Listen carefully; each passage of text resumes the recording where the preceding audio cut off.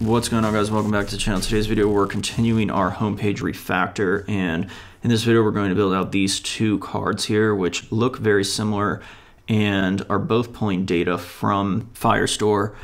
You can see there's actually no good data on this one but if we did add some saved values here You'll see now this has seven, which is the current daily budget, which is simply taking our total that we have saved and dividing it by the amount of days in our trip and then telling us how much we have saved per day, which would be essentially telling us how much we can spend per day based on what we've already saved.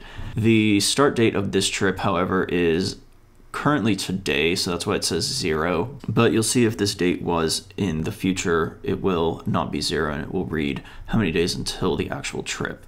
So let's get started building these two components here. So far as we've been building this, we've just been adding to our column here.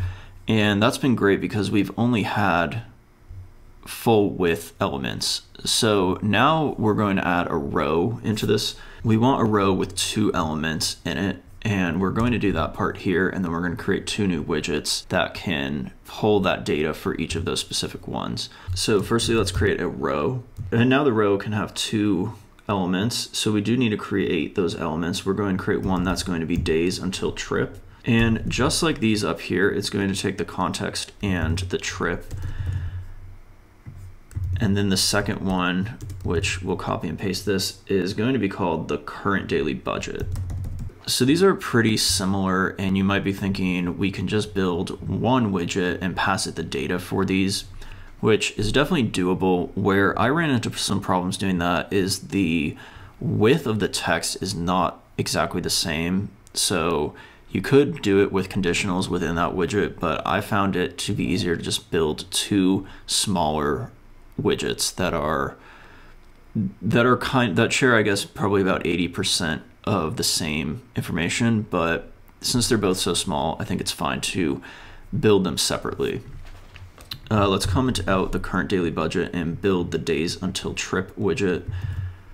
Create the new widget in our home views here.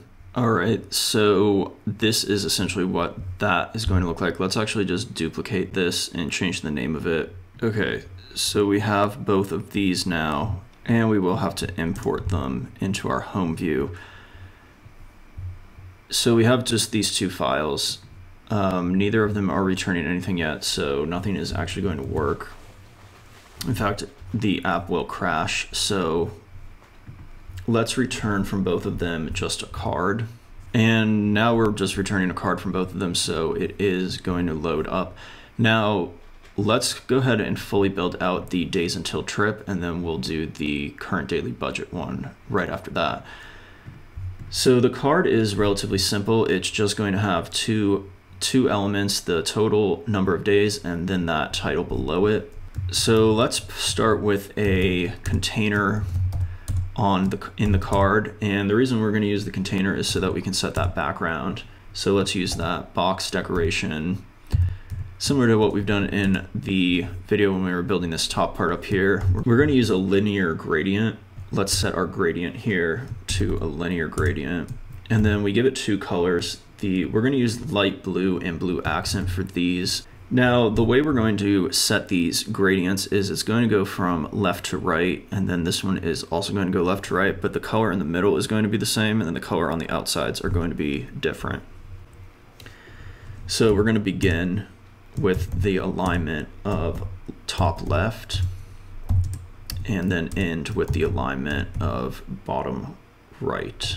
All right, that should be working, but we can't see it because we don't yet have anything in our container. So let's set the child element in this container and then we can give it a column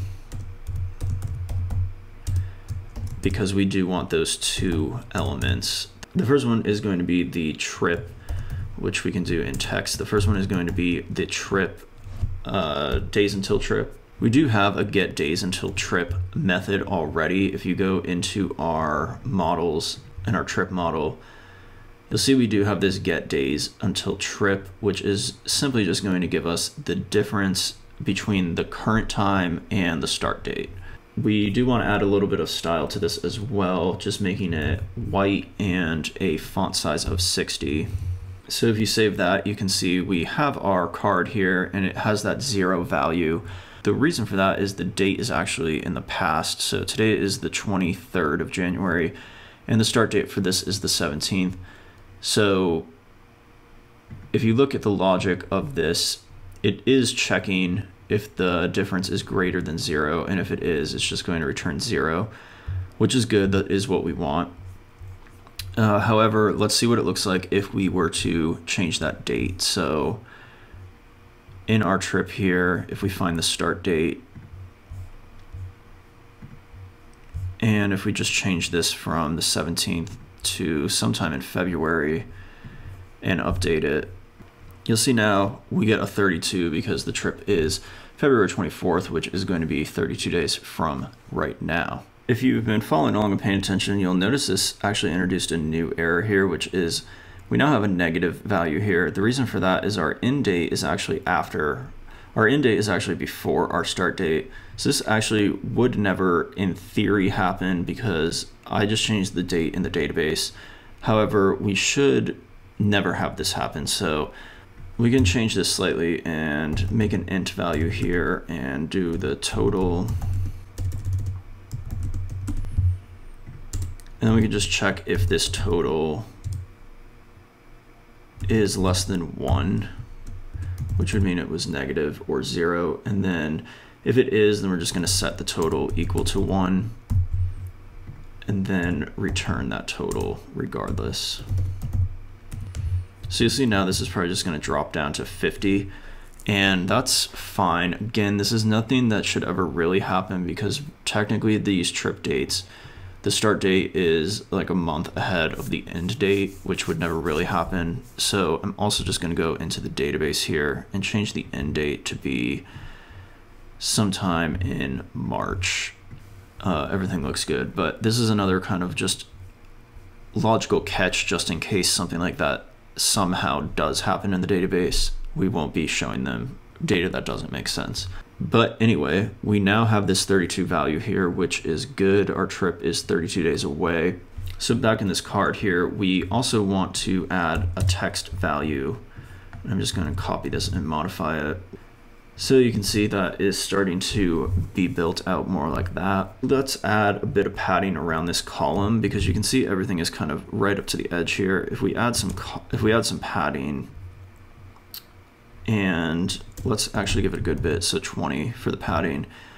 That card is looking a bit more like what we want it to look like. Next, we need to worry about if this number was very large. So if you imagine, if we had a bunch of zeros on here, which this is rare again, but you'll see if it's large enough, we will get that overflow issue. And once we add that other card here, we're never actually going to have it even overflow as far as half the screen. So this is kind of an easy fix as well. We just need to wrap this in a widget, uh, wrap this text in a widget, and we're gonna use that fitted box, and then we can give it the box fit of fit width. So if you save that, it still has the overflow there, and partially this is because of how this widget is being built on the home view. So if you go back to the home view, you can see we just have this row with two children in it. If we wrap these children in an expanded widget, you'll see now that the that the zeros there get get shrunk down.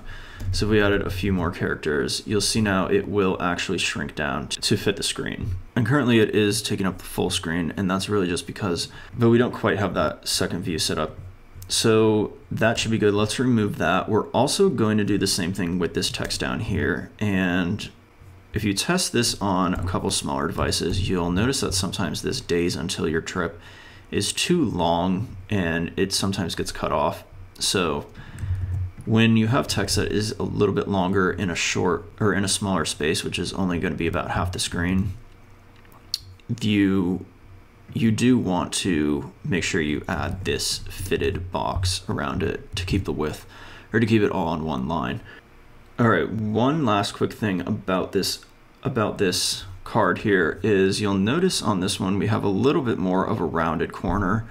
Very, very subtle, but if you want to add a rounded corner, you can do that right up with where we're setting the gradient. So this is in the box decoration here. and you can add a border radius and then set that equal to border radius of circular and then give it any value. So I'm just going to do a very subtle border which which is 4, but you can see now those that is more of a rounded card. So that looks good. Now we want the card to only be halfway on the left here. If we go back to our home view, firstly let's wrap this other one in an expanded widget as well. And if you save that, you'll see now that the, now this one is just taking up half the screen because both of these are going to expand to be half the width each. The next thing we can do is let's actually build out this next card and then we'll finalize the style of this row. So the card here, let's go ahead and copy everything that we just coded from our days until trip and put it in our current daily budget. So doing any type of copying like this that I just did should immediately raise a red flag in your mind and make you think of how can I reuse this code or reuse this widget and not have complete copies of this code.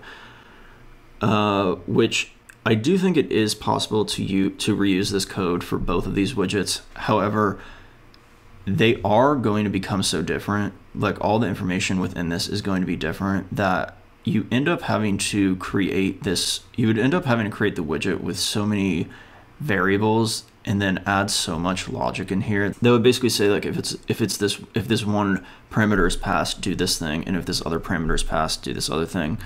And that's all definitely doable and if this widget was a bit more uh, actually reused it might make sense to do that but to me, it didn't actually make sense to do this, especially because of how small this widget is. But uh, comment down below if you believe that that is a good idea in this case or not a good idea in this case. I could I could see either one, and I could definitely do another video on refactoring these two into one widget if that's something people would be interested in seeing. So now we're going to actually modify this a bit. So we're going to start with the blue accent here and we're going to end with the actual color of blue. And then we're going to change this from actually we're going to leave the angles the same but you can see right now we go from a lighter blue to the blue accent and then we're going to have the darker blue. So that is now changed so it kind of goes from this lighter blue to this darker blue and has this third color in the middle. The next thing here that we're going to change is this text that is here. Instead of this being the days until the trip, we want this to be the current daily budget. So we're going to create a new method and we're going to call it get current daily budget. And this has not been created yet on our trip. So in our trip model, we're going to create this new method and we can do it right towards the bottom. It's going to return an integer and it's not going to take any parameters. Now, this is going to be pretty simple. If the if there is nothing saved, so meaning if this value up here is zero or null, we just want to return zero for the current daily budget. So that is a simple check to saved here. And since we're on the trip model, we actually have direct access to all of these parameters on the trip object. So we can just call save directly. So if saved equals zero or if saved is null, then we simply want to return zero. If it's not, then that means we have some amount saved. Then we want to return the saved value and we want to divide that by the total number of days in the trip. So we already have this get total trip days. So we're going to use that. And you'll notice this is the one that we just modified earlier to make sure that this value is a one if it was negative. That actually is important here as well because now that we're using this to actually do division on the total saved value, that that is more that makes this even more important to have this check in it because if we were dividing the total value by that negative number, it would also throw things off. in a way that we would not want to see. But once this is divided here, it's not going to be returning a integer, it's actually going to be returning a double, so we need to call floor on this to convert that and essentially remove the decimal points. Um, that looks good. If you save this now, since we're already calling it, you'll see six is the number here. Now that is a integer of the of the amount of money. So how we're getting this 6 here is we're taking this 125 and we're dividing it by the number of days total in the trip. So the total number of days in the trip is going to be the difference between February 24th and March 17th, which happens to be 21 days. So if we did 125 divided by 21, you'll see we get just about 6 because we're using floor, it is doing that rounding for us, so it moves us up to that six value. Uh, that being said, we want this to display as money, so we're going to escape a dollar sign here so it shows up with a dollar sign before. Instead of saying days until your trip, we're going to say current daily budget.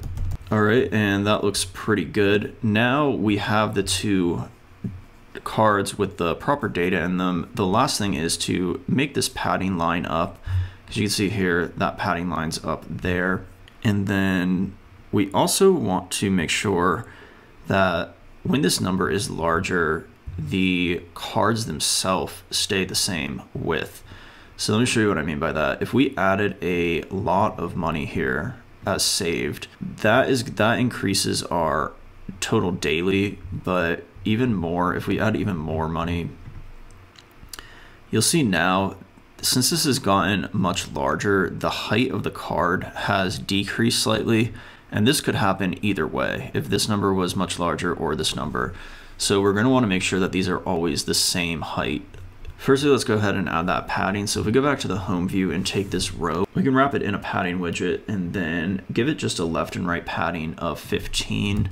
The reason we're using 15 is because that's what we used on this card here. So we want that to be the same. Now you'll see those line up nicely, which makes this look even worse when the height of this is smaller. The way that you can make the heights of these the same is to use an intrinsic height around this row. So wrap this row in another widget and we're gonna call, and this widget is the intrinsic height. And when you do that, it is going to set the height to be the same for both of these. So you'll see these now take up way too much height. So if we go into the cards themselves, so the days until trip, and we look at how these are set up, we have the container here, and then some padding, and then the column. And within this column now, if we add a main axis alignment with space evenly, and then do the same thing over on our other one, you can see we get kind of a better spaced out numbers here However, the, the height of the total card is still a bit high. These look a lot higher just because this number is so wide. So with it becoming so wide, the height of it becomes higher. If we go ahead and remove like 56,000, and what do we have? 52,000. So if we remove like 52,000, then and now we're back to like $600. You'll see these line up now. So that looks more like what we would expect. But either way, it does work with both ways. If you have more save, those will just become slightly longer, but they don't overflow and they still do look good because they're both the same height. Alright, that's going to be it for this video. We now have these two nice cards here. Like this video if you found it helpful and subscribe down below so you can be notified as soon as the next video comes out where we'll be continuing to build this homepage view.